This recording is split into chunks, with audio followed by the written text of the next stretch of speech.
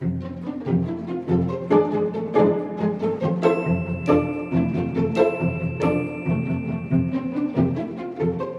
suis Michael Kissin, professeur de linguistique à l'Université libre de Bruxelles. Euh, j'ai été formé à la linguistique ici à l'Université euh, libre de Bruxelles, puis je suis parti faire un master en linguistique à Cambridge. Après ma thèse de doctorat en linguistique à l'ULB, j'ai obtenu un mandat de chercheur postdoctoral au FNRS qui m'a permis notamment d'effectuer plusieurs visites de recherche à l'étranger, comme par exemple à l'École normale supérieure à Paris.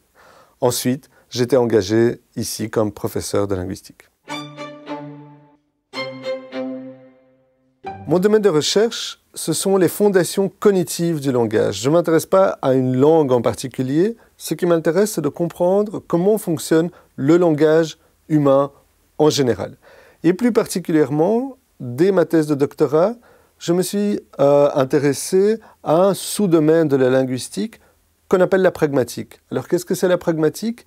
C'est la capacité à aller au-delà du sens des mots, à comprendre ce qui n'est pas dit, ce qui est implicite, pour comprendre ce que notre interlocuteur veut nous dire, ce qu'il veut nous faire faire, ce qu'il veut communiquer.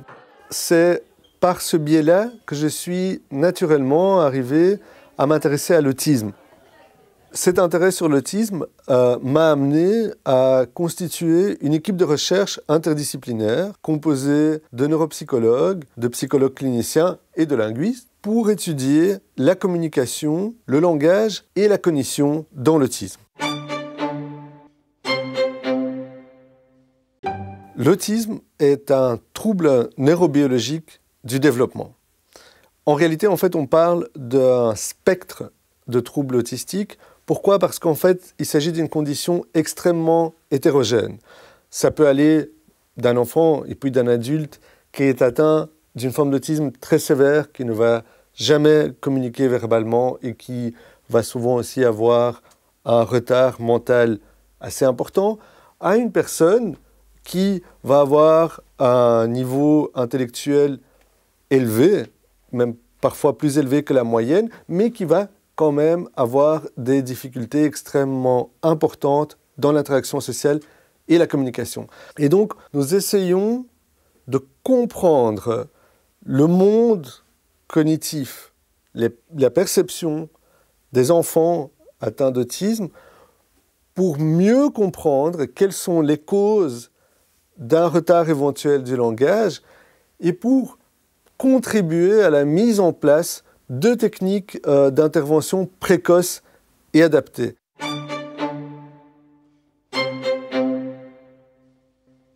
Ce que nous faisons, c'est tout d'abord nous familiariser avec l'enfant et la famille.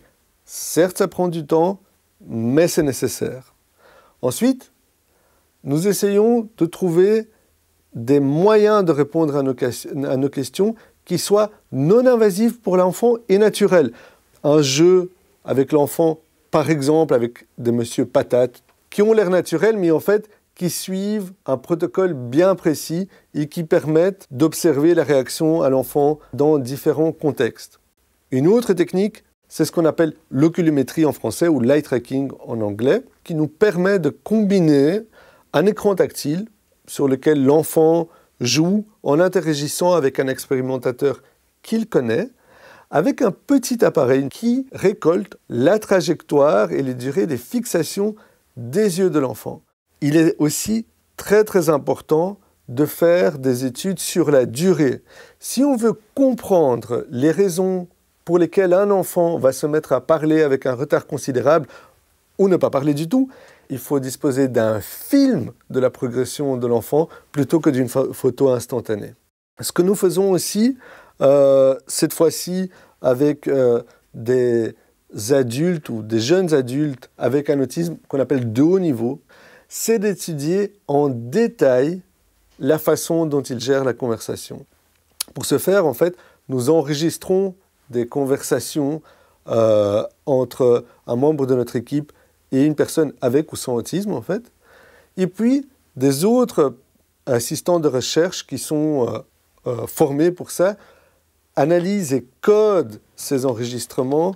De cette façon, en fait, ce dont on se rend compte, c'est que parfois, ce sont nous, les neurotypiques, donc les personnes qui ne sont pas atteintes d'autisme, qui avons du mal à comprendre les perspectives et les intérêts de notre interlocuteur porteur d'autisme.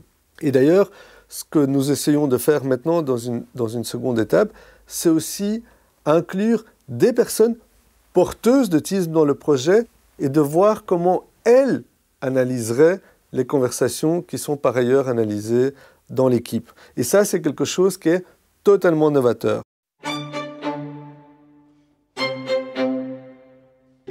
L'autisme n'est pas du tout une condition exotique. Bien au contraire, on estime que plus d'un enfant sur 80 est touché par une forme ou une autre d'autisme. Pour mettre en place des stratégies de dépistage, pour améliorer des techniques d'intervention qui existent déjà bien sûr, il est impératif de comprendre comment est-ce que ces personnes voient et perçoivent le monde, comment est-ce que ces personnes peuvent accéder à la communication langage. Donc il s'agit d'un projet de recherche fondamental, mais qui espère déboucher rapidement sur des résultats concrets avec des impacts sociétaux concrets aussi.